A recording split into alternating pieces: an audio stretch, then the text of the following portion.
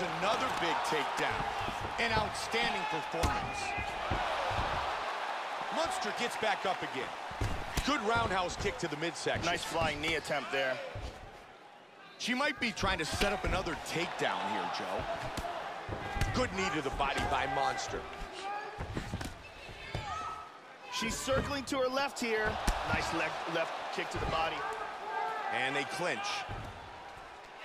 Oh, she can do damage with this Muay Thai plum clinch. Strong elbow to the head by Monster. Tying up here in the clinch. Monster gets caught by the kick to the midsection. Oh, that's a vicious kick. Oh, vicious knee. Whoa! Hard diving punch. Hammer fist.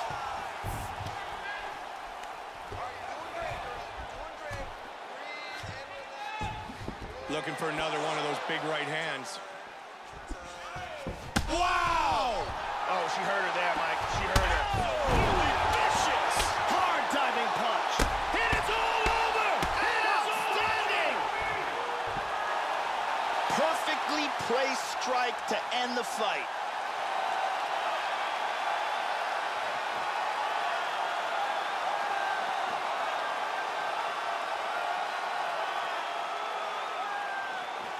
Let's check out the action on our fight replay. And let's take a look at the replay. This is the shot that drops her. Perfect technique. She's clearly hurt badly here. Let's take a look at it from another angle here. This is the one that causes the knockdown and the subsequent follow-up strikes for the knockout. Check it out here.